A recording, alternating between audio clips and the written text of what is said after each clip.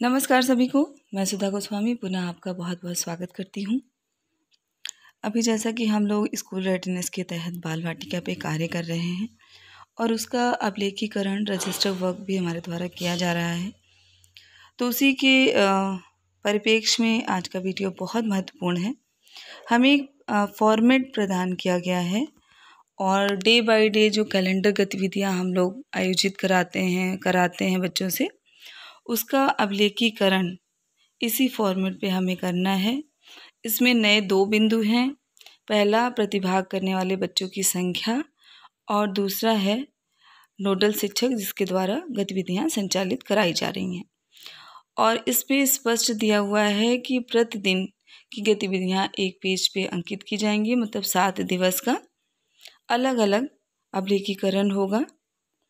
तो ये पूरा हमें एक फॉर्मेट प्रदान किया गया है और हमारे लिए सुविधा भी है कि हमें इसी के अनुसार पूरा गतिविधियों का संचालन कराने के बाद अभिलेखीकरण करना है। तो आइए देखते हैं कि क्या स्वरूप है इसका और कैसे हमें इसको भरना है। इस अगर आपने प्रथम सप्ताह की गतिविधियाँ भर ली हैं तो द्वितीय सप्ताह की गतिविधियों को इसी फॉर्मेट के अनुसार भरिएगा।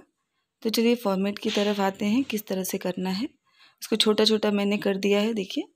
ऊपर इसके लिखा है, स्कूल तैयारी मॉड्यूल बाल वाटिका के बारह सप्ताह की समय सारणी के अनुसार, गतिविधियों के संचालन अब और अभिलेखीकरण का स्वरूप।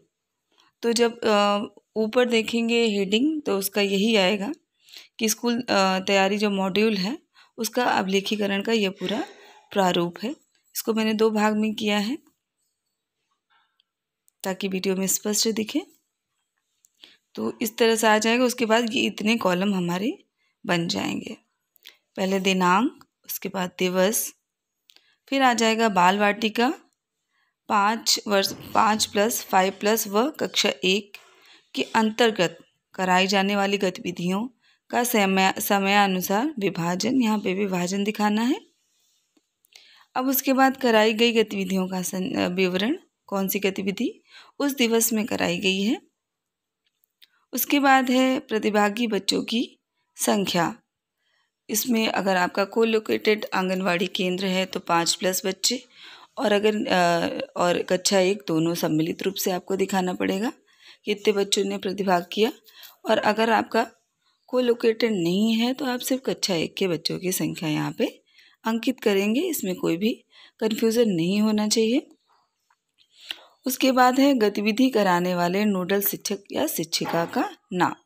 तो अगले कॉलम में हमें जिस शिक्षक शिक्षिका ने ये गतिविधियाँ कराई हैं, जो नोडल शिक्षक हैं कक्षा एक के, उनका नाम यहाँ पे अंकित हो जाएगा। अब आते हैं नीचे के फॉर्मेट की ओर। ऊपर इस तरह से आप बना लेंगे, नीचे तो जैसे ये पच्चीस चार दो हज़ार बाईस यहाँ पर दिया हुआ है, यहाँ पे दिन का नाम आ गया सोमवार। उसके बाद जो हमें गतिविधियाँ करानी है, उनको हम इस तरह कॉलम्स में लिख लेंगे। जैसे सबसे पहले मॉर्निंग सर्किल टाइम उसके बाद स्वतंत्र खेल, भाषा और साक्षरता कौशल कला संबंधी गतिविधियाँ, गणित ईवीएस वैज्ञानिक सोच, बाहरी खेल गुड बाय सर्किल अन्य गतिविधियाँ यदि कराई गई हैं तो उनका पूरा विवरण आपको इन्हीं कॉलम्स में भर देना है। बहुत ही आसान हो गया है ये पूरा प्रारूप आने से। कोई कन्फ्यूज़न नहीं होगा और सबका, जितने भी नोडल शिक्षक हैं या नोडल शिक्षक संकुल हैं, उनका अभिलेखीकरण एक समान होगा और प्रतिभाग कर रहे बच्चों की संख्या। और वो को लोकेटेड है या अलग है आंगनवाड़ी से, उसका पूरा विवरण अलग अलग हो जाएगा। तो अब कोई भी कन्फ्यूज़न नहीं है इस प्रारूप के आ जाने से। ये देखिए, पूरा जो फॉर्मेट है, जो प्रारूप है, कुछ इस तरह से है। यहाँ पे सारी गतिविधियों के नाम लिखना है और कराई गई गतिविधियों का विवरण, प्रतिभाग कर रहे बच्चों की संख्या और नोडल शिक्षक संकुल का पूरा एक नोडल शिक्षक का नाम। और यहाँ पे दिनांक और दिन। अंत में इस फॉर्मेट के एक नोट लिखा हुआ है।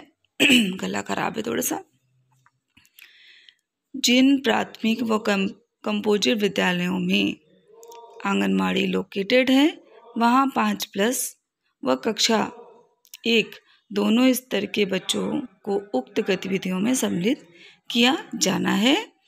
जहाँ आंगनबाड़ी को कोलिकेटेड नहीं है, वहाँ कक्षा एक के बच्चों को सम्मिलित किया जाना है। एक पेज पर एक दिवस की गतिविधियों का अभिलेखीकरण करना है। तो बहुत ही सरल हो गया है, सारी चीज़ें बहुत स्पष्ट हैं और आपको जो मेरा अगला अभी वीडियो देखने को मिलेगा, उसमें दो दिवस की गतिविधियाँ अभी हमने नहीं दिखाई हैं, शुक्रवार और शनिवार। तो उसको मैं उसी फॉर्मेट पे बना करके अभी अगले वीडियो में आपको शेयर करूँगी, आप एक बार देख सकते हैं और अपना अभिलेखीकरण कर सकते हैं। आशा है आपको मदद मिलेगी, धन्यवाद।